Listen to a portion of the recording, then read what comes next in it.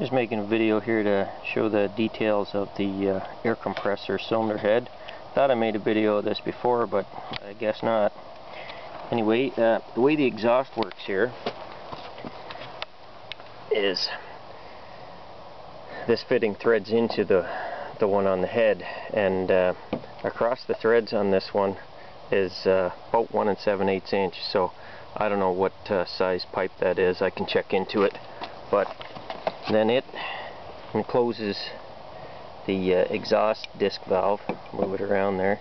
So you can see there's there's clearance there. You don't want the, the disc valves tight. It's moving somewhere between a 16th and an 8th inch uh, side to side.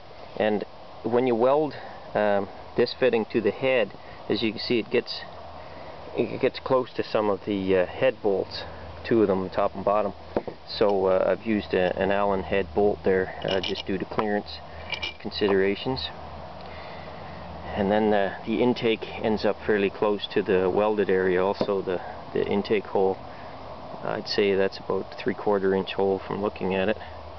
And you can see the three bolts here. Machine screws they're holding the intake intake disc valve in place. And again I'll move it around here. See it's it's got clearance also. I'd say it opens up about a 16th inch something like that.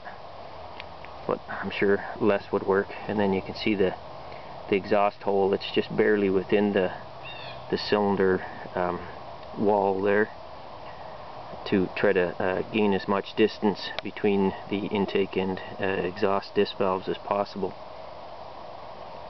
it's kind of a tight fit, but and I'll just take a quick look here. I'll have to set the camera down, measure that intake disc valve there. It is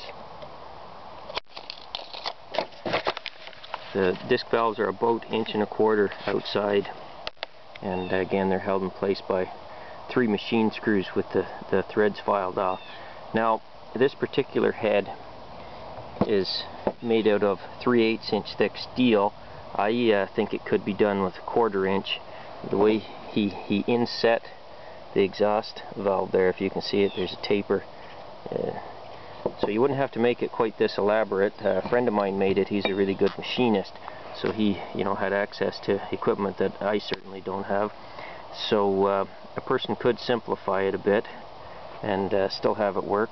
This particular one, it puts out 125 psi so uh, it worked uh, really well. I've ran it at least 10 hours, uh, probably longer, doing sandblasting and things. You know, I haven't kept track of the time, but anyways, just wanted to show you. Oh, the other thing, I put a, a connector on there so that I could take the piping off and uh, ran the piping over and then to a ball valve uh, setup. Um, the main reason I ended up with so much piping was uh, it got really hot and it actually blew a uh, compressed air hose apart one time so I uh, put more steel pipes on there to cool the uh, discharge air down a bit. Anyway, hope that helps out.